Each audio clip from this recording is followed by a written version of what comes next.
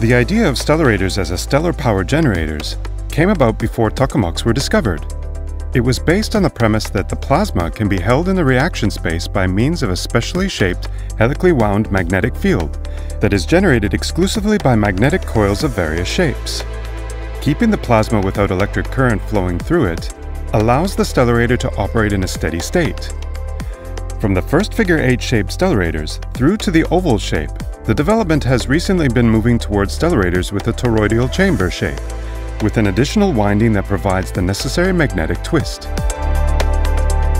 One way to keep fusion fuel heated to temperatures exceeding hundreds of millions of kelvins is to place it in a magnetic cage made up of magnetic field of specially shaped coils.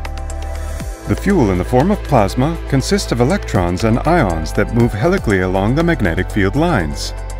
Thus, in the case of a toroidal shape, where the field lines have a circular path, the particles should circle around endlessly. But for geometric reasons, it is obvious that the thread of the toroidal coils will be denser on the inner side of the torus, and the magnetic fields will be stronger than the field on the outer edge of the torus. The result of such non-uniform magnetic field can be the drifting of particles across the field, the separation of charges, and the creation of an electric field that pushes the plasma out of the torus. To overcome this field, the particle must be forced to spiral around the torus. As it moves along the inside, it will drift in one direction, while on the outside, it will drift in the opposite direction. So the drift cancels out and the plasma remains inside the torus. The first stellarator built in 1953 by the American physicist Lyman Spitzer was made of a borosilicate glass tube bent into three-dimensional figure 8 and wrapped with magnetic coils. With the further development of stellarators, the figure 8 shape changed to an oval shape with a toroidal and additional helical windings, which provide the necessary twisting of the magnetic field. The coils of the additional winding are usually wound around the body of the torus, and are thus located below the toroidal and poloidal coils. Helical coils must operate in pairs with opposite directions of electric current. One or two such simple continuous coils spiraling around the torus are used by the torsatron, one of the modifications of the classic stellarator. The design of the torsatron is based on the assumption that a toroidal field can only be generated using helical coils with identical current direction. Continuous helical coils can also be replaced by several intricately shaped individual coils that create together a similar magnetic field. A similar type of stellarator to the torsatron is a heliotron, which uses yet another set of coils located off-axis to the torus. Thanks to all the coils, which can have various crooked and bizarre shapes, the plasma in the heliotron finally has the exact desired shape of a coiled ribbon with a changing bean-like cross-section. Another modification of the stellarator, called the heliac, is based on the idea of replacing the additional helical windings around the plasma with plasma helically coiled around the poloidal coil. The original heliac consisted only of circular coils. The flexible one adds a small helical coil that allows changing the twist of the magnetic field in plasma. The latest modification is a helical advanced stellarator called Helias combining toroidal coils and helical coils into one optimized set of modular coils.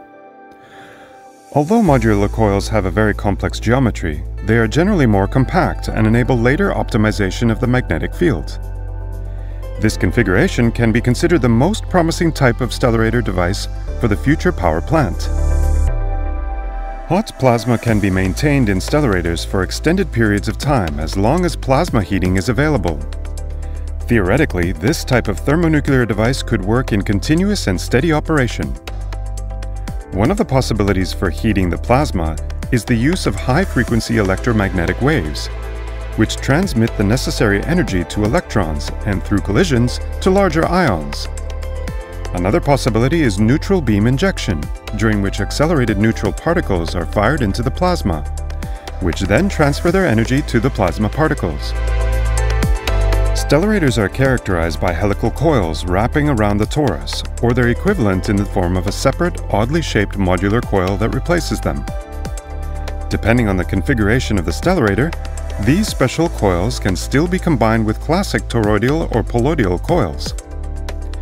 The shapes of the modular coils are designed with the help of powerful computers to achieve the best possible magnetic closure and thus reduce particle losses and various instabilities. The requirements for the design and manufacture of these coils are huge. Dozens of coils must be attached with millimeter precision on a solid, stable structure. The correct magnetic configuration is then created by the correct calculation, production, and installation of the coils, and the appropriate setting of the currents flowing through the coils. To reduce energy consumption, the coils are superconducting. The vacuum chamber surrounding the plasma has a peculiar and irregular shape, resembling a crumpled hollow steel donut. The exact shape of the vacuum chamber depends on the type of magnetic configuration each device uses. In heliotrons with helical coil, the chamber is slightly more symmetrical than a Helias-type devices with modular coils. Numerous magnetic coils located close to the vacuum chamber provide only limited access to the vessel. This is provided by the ports for the purposes of maintenance, diagnostics, and connection of various pipes and heating. To protect against the high temperatures of the plasma, the inner surface of the vessel is covered with carbon tiles with active water cooling. The magnetic field lines are arranged at the edge of the plasma inside the chamber in such a way that they form small islands, local magnetic traps, in which possible impurities are captured, which are mainly atoms with higher atomic numbers. Captured waste is directed into the diverter. These are special collection plates with a complicated shape copying the curved outline of the edge of the plasma, under which the vacuum pumps are located. Because this device uses magnetic islands, it is called an island diverter. While the plasma has a temperature of 100 million Kelvin, the superconducting magnetic coils near it must be maintained at a temperature of only 4 Kelvin. To minimize heat transfer from the plasma to the coils, the outside of the vessel is covered with thermal insulation and a deep vacuum is maintained between the vessel and the coils, kept in a giant cryostat. In a fusion power plant, stellarators using the reaction of deuterium with tritium will still need to have about 1 meter thick neutron shielding between the plasma and the walls of the vacuum vessel, or coils. The shielding will also serve as a tritium breeder, capturing neutrons in lithium and producing the desired fuel, tritium. Installing a neutron shield will move the coils away from the vessel and require more powerful magnets and make the whole device bigger.